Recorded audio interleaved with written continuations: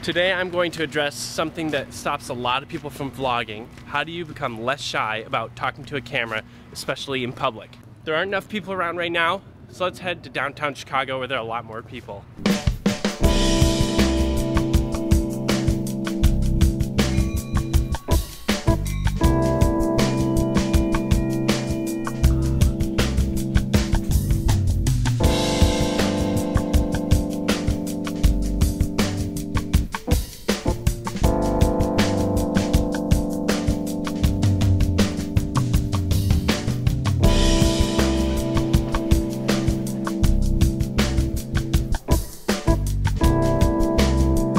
Actually headed into work a little bit later than usual today, so there aren't as many people, but there are some people around. I want to talk about how I got over talking to the camera. So I've been vlogging for about a year, and I definitely had a hard time talking to the camera when I first started out.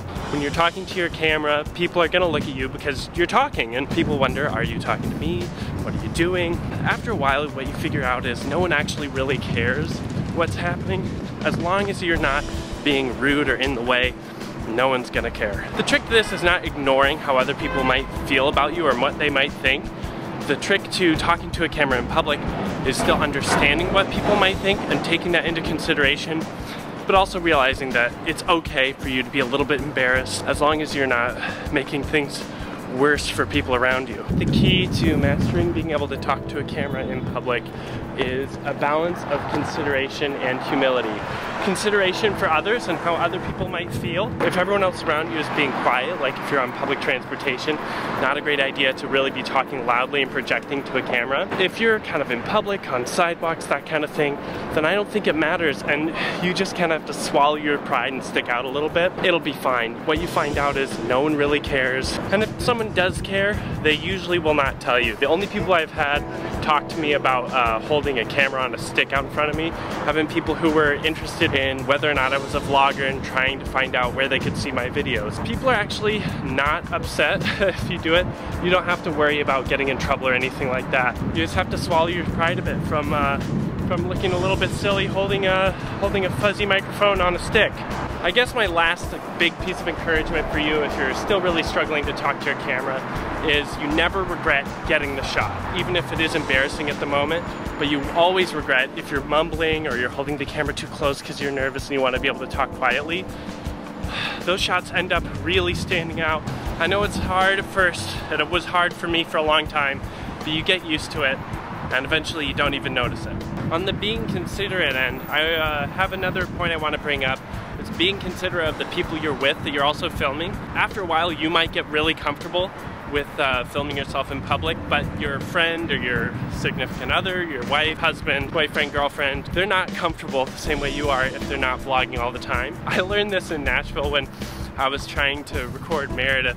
She got so angry at me because people were walking the other direction and I got my camera out instead of waiting until the people had passed. So that's something I think is really important is to still have that awareness of other people being around. That you're not you're not numb to it. You're just choosing to be okay humiliating yourself. So that's why it's really important to remember you're humiliating the people you're filming as well if you're with friends. So just try to be really considerate in those kinds of instances. Another thing in terms of consideration I wanted to bring up is don't ambush people with the camera. Just because you're filming doesn't mean other people want to be filmed. So especially if you're going to be talking to someone, asking them questions, do not be that jerk that just runs up, shoves a camera in their face and asks people for a reaction like, how do you feel about that? What do you think? It's a really, really bad look. Don't do it so rude and inconsiderate. I feel like I shouldn't have to say this, but especially if you don't know that person, don't shove a camera in someone's face. Another thing I've learned is if you set up the camera and you're kind of away from people a little bit, that helps you feel a little more bold, a little bit less like you're on display. So you can try that if you're having a hard time walking and talking in the middle of people. In terms of final encouragement for being able to talk to the camera on your own, it's okay to look stupid for a moment because that video will last longer than the moment of embarrassment for you and you're going to be able to use that clip in a bigger video where you're kind of telling an overall story. It's going to be worth it for just that kind of short-term embarrassment for you to actually get the shot. So just get out the camera. Don't be afraid to get stared at or that kind of thing. You're looking at the camera anyways, you're not really gonna notice.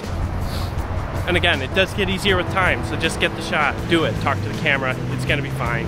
Sorry about this kind of long, rambling, walking, talking shot, but it's kind of to prove a point that you can do it, that it's not that bad. No one has hit me, no one's come up and yelled at me, no one's stared at me, and if they have, I didn't really notice, so you're gonna be fine. You don't have anything to worry about if you wanna walk and talk to your camera. People are pretty used to it at this point with Snapchat and Instagram stories and stuff you'll be fine. Don't worry about it. You don't need to be shy. Just go outside, make videos. All right, thanks for watching. Have a good one.